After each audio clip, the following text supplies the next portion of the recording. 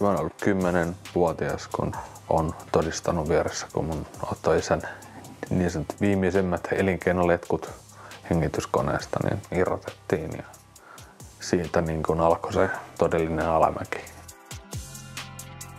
Katos vähän se niin kun pohja ja ei ollut sitä roolimallia siellä kotona, niin sitä haluttiin hakea sitten muualta ja alkoi tulee niitä niin putkareissuja ja alkoholia ja tappeluita ja näin oli mun tapa käsitellä silloin omaa pahaa oloa ja aiheutin sillä muille sitten vielä niin kuin pahaa oloa.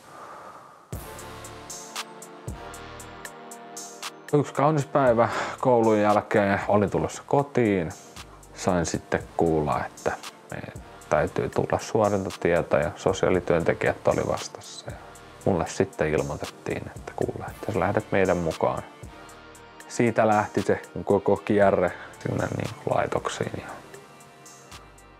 Pahin, mitä olen tehnyt, niin viinan ja lääkkeen vaikutuksen alasena niin laitoin remonttikuntoon koko keittiön. Kaikki keittiön tuolit lenti, kaikki kaapiston sisältä mä lensi. Mulla äiti lukittautui sen makuuhuoneeseen. Totta kai sitä alkoi pelottaa se, kun eihän se mua pystynyt millään kontrolloimaan siinä. Tilanne oli niin sekava, että mä näin ihan täysin mustaa, en kuulu, en nähnyt mitään. Mut otettiin sitten poliisin toimesta kiinni, vietiin putkaan ja aamulla laitokseen.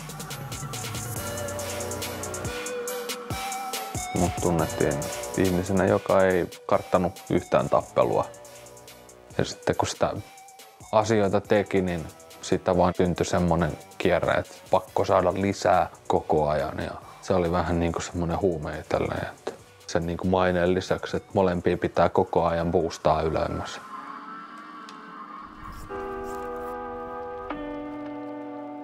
Siinä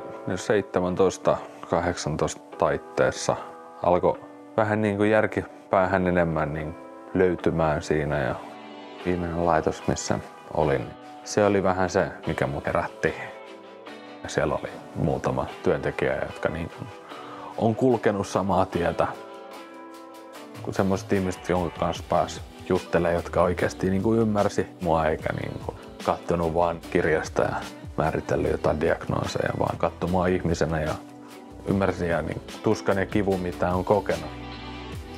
Ennen kaikkea siinä voi vaan kiittää niitä ihmisiä, jotka uskoi ja loi muhun tietämystä, että, hitto, että kyllä, kyllä susta tulee aikuinen vielä kaiken jälkeen.